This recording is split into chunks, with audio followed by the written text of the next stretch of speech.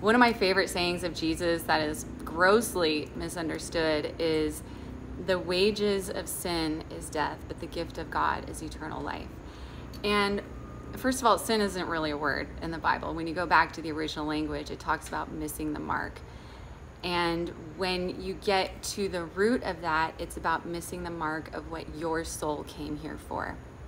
So the gift of God to you is the soul that He has given you that is wired for love and wired for life. And that drive, that consciousness, that isness, that beingness of God is in you. And that is the gift to understand how to have a full life, to live the fullness of what your soul came here for.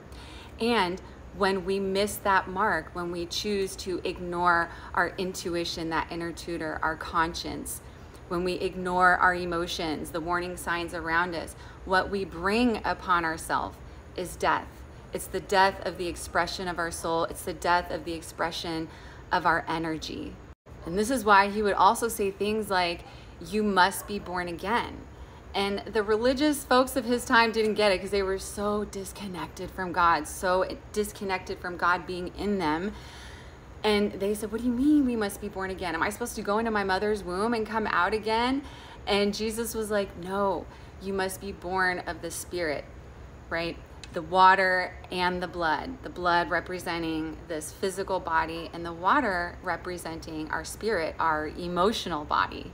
So to be born again is to allow the emotions, our energy and motion to speak to us, to be that guiding force that is showing us our way, our truth, our life, right? This is why Jesus could say, I am the way, I am the truth, I am the life.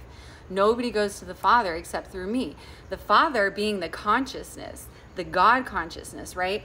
So you are the way, you are the truth, you are the life, and you get to the God consciousness by going inside and becoming aware, becoming conscious of all that is you, all that has made you, all that your soul is calling you into, and walking in that, birthing that, birthing the pureness of your soul. So being born again isn't somebody else coming out and save you. Jesus isn't coming on his horse and saying, I got you, man. He already came and said, This is the way to do it. Let me show you how to do it. So if you are desiring to be born again, to birth the fullness of your soul, reach out to me because this is what I do. Look, y'all, it is easy, easy to understand what your soul came here for, the challenge, the strength building is in actually slowing down long enough to listen to what it is and actually walk in it.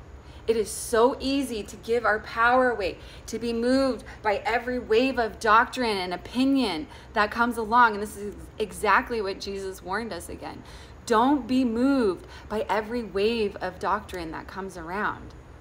The pillar of truth is within us. The ability to see truth is within. The connection to source is within.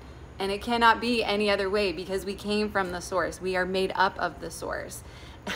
And when we get into things like epigenetics and microchimerism, where we understand that the DNA of the baby stays in the mother forever, that means we are forever connected to the divine as above, so below. So you are connected to the divine. You are the divine. And you are here to fulfill a unique purpose in reflecting a certain aspect of the divine. And this is what sacred body mind language is. So if you are ready to be born again, please reach out to me. I love you.